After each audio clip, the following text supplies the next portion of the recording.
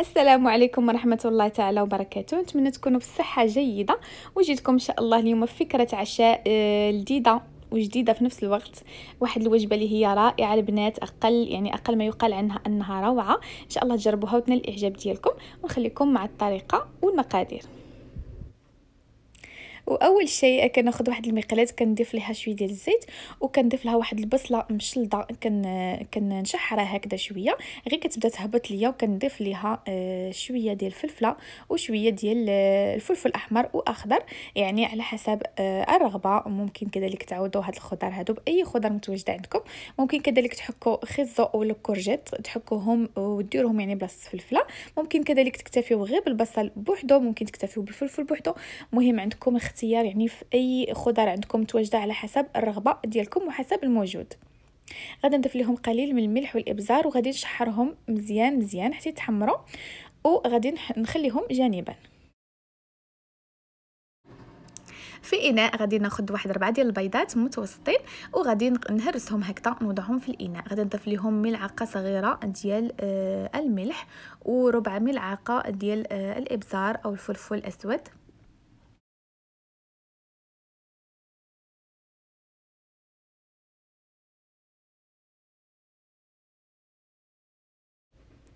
ونخلط مزيان البيض ديالي من بعد غادي نضيف نصف نصف كأس ديال الزيت النباتي. كي كتشوفوا معايا العبار يعني بالكأس ديال العنبة. ممكن تستعملوا يعني أي كأس متوفر عندكم غير عبروا يعني بنفس الكأس كملوا العبار وغادي نضيف كأس واحد آه، ديال الحليب. حليب يعني عادي من الثلاجه غادي نضيف كذلك آه، واحد الكأس ديال الدقيق. وغادي نحرك مزيان مزيان الخليط ديالي حتى ينسجم ليا. غادي نضيف كذلك هنا واحد نصف ديال الكاس. الكاس الثاني هذا غادي نضيف النصف ديالو.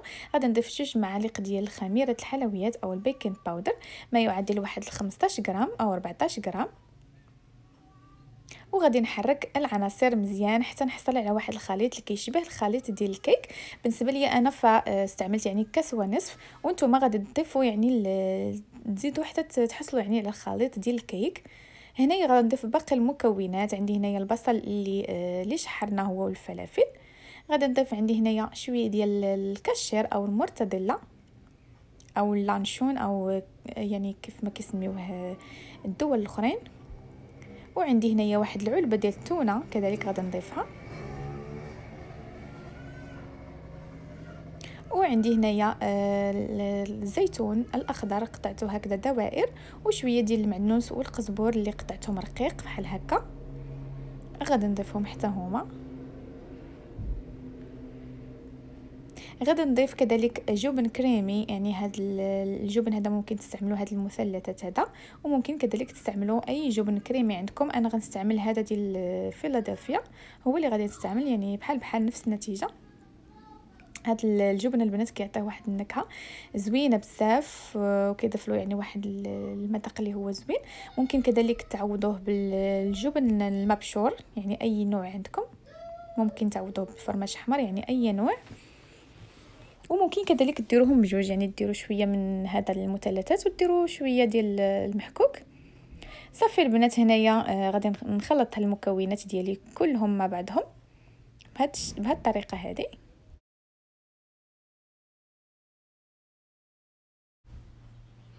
كنجيب آه، هكذا واحد لاطه اللي كتدخل الفرن أو لامول ولا أي حاجة عندكم.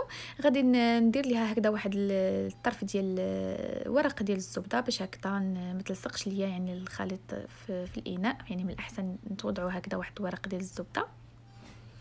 أولا اللي ما عندكمش ممكن دهنوا هكذا بالزبدة دهنوا مزيان آه، بالزبدة وعاد تحطوا فيها الخليط.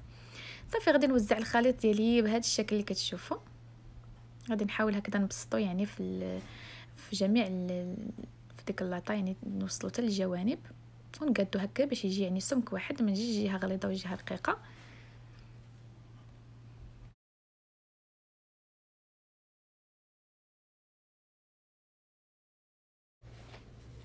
واخر حاجة ما تاخر لمسه غادي نضيف شوية ديال غير حفينه بنات غير شوية ماشي بزاف ديال الفرماج ديال الموتزاريلا. وممكن كذلك ديروا آه، يعني أي فرماج متوفر عندكم ممكن ديروا فرماج حمر ممكن أي نوع. وكذلك غنضيف واحد شوية ديال الزعتر غنحكو ما بين يديا بهذا الشكل هذا وغادي نوضعو على الوجه. فكتعرفوا الزعتر كيتواتى بزاف مع الموتزاريلا. صافي غادي ندخلو الفرن يعني بدرجة الحرارة اللي بحال الكيك يعني 350 حتى ل 350 حتى 380 وهذا هو الشكل ديالو غادي نشعلو عليه من الفوق باش باش يتحمر لينا يعني من من الأعلى.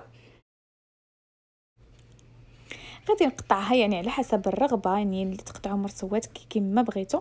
غادي تشوفوا هنايا الشكل ديالها من الداخل كيفاش كتجي وكيفاش دوك القطع ديال المرتديلا والقطع ديال الجبن كيجيو فيها من الداخل. كيجيو رائعين كيعطيوها واحد المذاق اللي رائع والزيتون والفرماج مع الزعتر أكيد كيجي يعني واحد واحد المكونات اللي هي لذيذه لذيذه بزاف. نتمنى هاد الأكلة اللي قدمت لكم اليوم ديال العشاء تكون يعني نالت الإعجاب ديالكم. ولا عجبكم الفيديو ما تنساوش آه، ديروا له لايك وتشتركوا في القناة. وكذلك تفعلوا الجرس باش يوصلكم جديد الفيديوهات. خليكم على خير ونقول لكم السلام عليكم. إلى فيديو مقبل إن شاء الله. إلى اللقاء.